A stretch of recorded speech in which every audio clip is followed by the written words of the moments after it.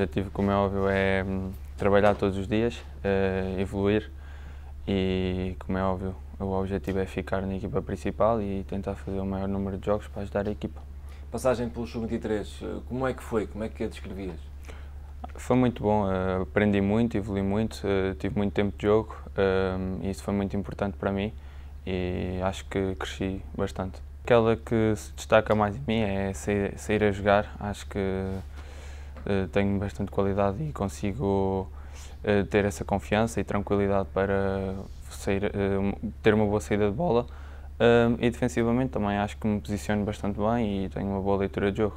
Se eu te perguntasse qual é que foi o avançado mais difícil que encontraste até agora, qual é o jogador que dirias? Não sei, já, já apanhei muitos, talvez o Ansu Fati, o Barcelona num torneio que apanhei, acho que foi o mais difícil. Foi uma cidade que me acolheu muito bem, os adeptos, senti bastante o, o calor deles todos e acho que hum, a palavra que, que define melhor Famalicão é ser uma cidade acolhedora. Melhor amigo no futebol? Saldanho. É mesmo amigo, amigo.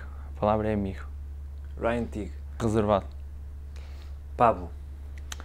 O Pablo é dançarino. Giovanni.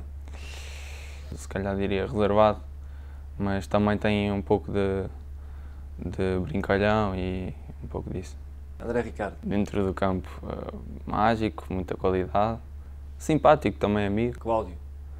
Cláudio, parceiro e dentro do campo também muito bom jogador. Uma pessoa que eu gostei muito de, de jogar ao longo da época passada. Outro desporto que gostes que não futebol? Gosto de vários. Uh, gosto de uh, basquete, NBA. Comida favorita? Bacalhau à brás. Define Famalicão numa palavra. Família.